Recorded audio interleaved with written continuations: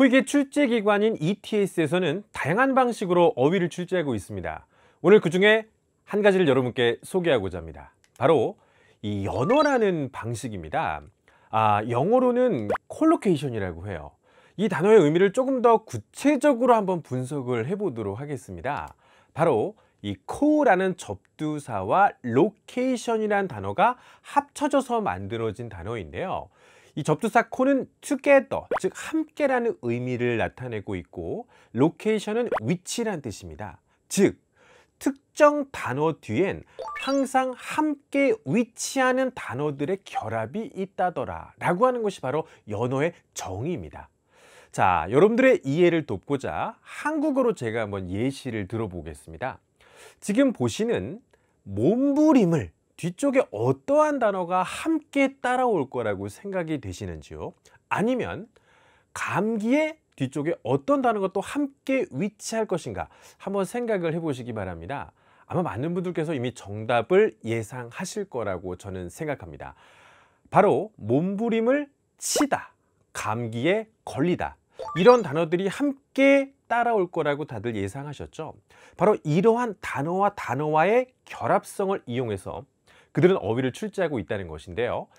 자, 토익에서 한 가지 단어를 대표적으로 한번 제가 들어보도록 해보겠습니다. 바로 이 observe란 단어인데 이 단어가 물론 관찰하다는 뜻도 있습니다만 실제 토익에서 관찰하다는 뜻으로는 시험에서 잘 출제가 되지 않고 이 단어가 준수하다 혹은 지키다 라는 의미로 자주 출제가 되고 있어요.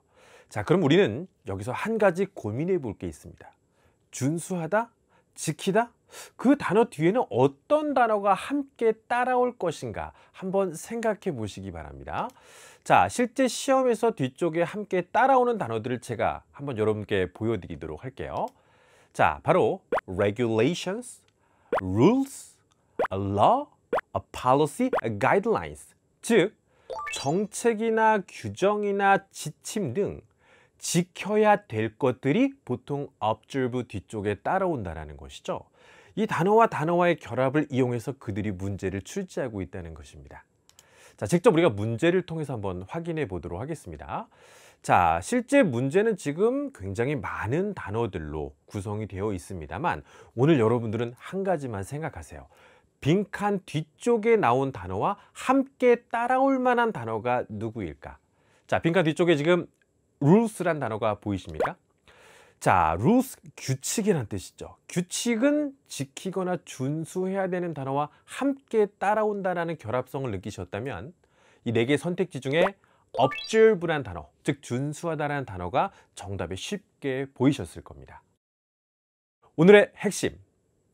특정 단어 뒤엔 항상 함께 따라오는 단어가 있다. 바로 연어였습니다.